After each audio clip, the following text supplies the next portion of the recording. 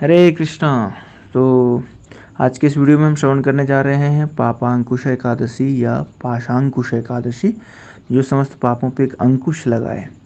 तो अश्विन मास के शुक्ल पक्ष की एकादशी है ये, और ये एकादशी क्यों महत्वपूर्ण है, ये हम श्रवण करेंगे, और ये इसका महात्म जो है ब्रह्म वैवर्त पुराण में आता है। तो एक बार की बात है कि युधिष्ठिर महाराज जो है, भगवान कृष्ण से पूछते हैं कि अश्विन मास के शुक्ल पक्ष की एकादशी के बारे में थोड़ा मुझे विस्तार से बताइए। तो भगवान युधिष्ठिर महाराज के प्रश्न के संदर्भ में उत्तर देते कहते हैं कि, हे नृपेंद्र, जो भी इस एकादशी का पालन करता है, वह समस्त पापों से मुक्त हो जाता है और इस दिन जो कोई भी भगवान के पद्माप स्वरूप की पूजा करता है, भगवान श्री हरि के रूप की पूजा करता है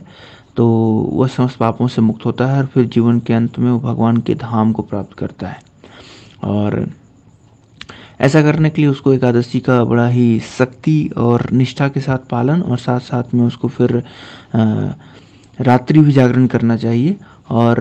भगवान बताते हैं कि जो पूरे संपूर्ण पृथ्वी पे जितने भी तीर्थ हैं, उन तीर्थों में जाकर के स्नान करना, भगवान के नाम का जप करना, जो भी दान करना, उससे जो भी पुण्य मिल सकता है, वो सारे के सारे पुण्य जो है, महज इस एकादशी को करने से प्राप्त हो सकते हैं। और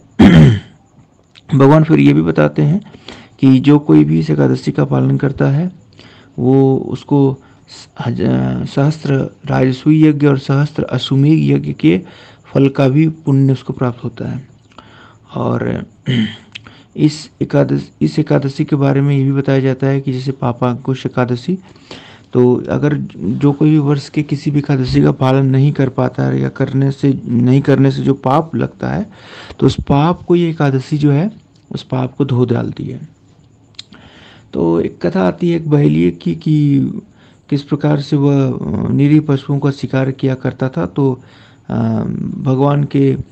महत्व कृपा के कारण, साधुओं के कारण उसे ये ज्ञात हो जाता है कि वो कितना निरीह कार्य कर रहा है तो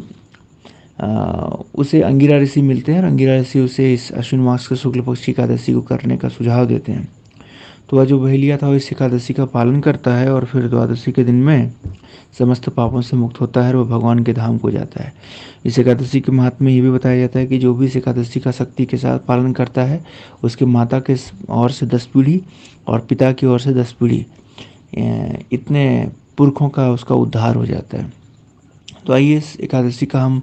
जितना हो सके शक्ति के साथ में हम इस एकादशी का पालन करें। भगवान के नाम का ज़्यादा से ज़्यादा संख्या में जप करें। भगवान के शिव विग्रहों का दर्शन करें, आरती करें, मंगल आरती करें गौ माता की सेवा करें, तुलसी महारानी की सेवा करें और भूल कर भी एकादशी के दिन में अन्न को ग्रहण ना करें किसी भी अवस्था में और जितनी ज़्यादा से ज़्यादा हो गीता भागवतम का लाभ करें। हरे कृष्णा।